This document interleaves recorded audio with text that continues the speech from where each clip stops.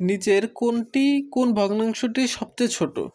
প্রথমে আছে দুই বাই এগারো, এরপর আছে তিন বাই এগারো, দুই বাই তেরো, আর হচ্ছে চার বাই পনেরো।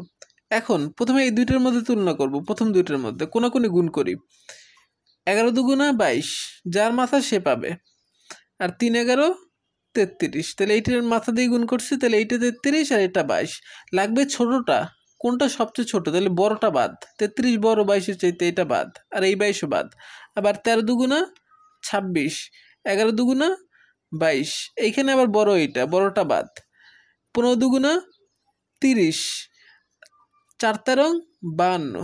তাইলে বড় কোনটা? বাহান্ন বড়, ত্রিশের চাইতে। তার মানে সবচেয়ে ছোট হচ্ছে দুই বাই তেরো মানে গ নাম্বার উত্তর। শূন্য দশমিক দুই পৌনপুনিককে সাধারণ ভগ্নাংশে প্রকাশ করুন। আচ্ছা এরকম আছে শূন্য দশমিক দুই পৌনপুনিক। পৌনপুনিকের নিয়ম হচ্ছে, পৌনপুনিক থাকলে পুরো এই যে পুরো সংখ্যাটা লিখতে হবে, শূন্য দুই, পুরো সংখ্যাটা লিখতে হবে, এ থেকে বাদ দিতে হবে যেই সংখ্যাটার উপরে পৌনপুনিক নাই মানে শূন্য।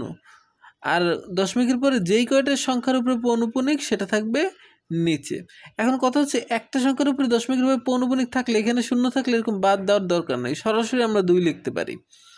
তাহলে দুই বাই নয়। উত্তর দুই বাই নয় ক নম্বর উত্তর?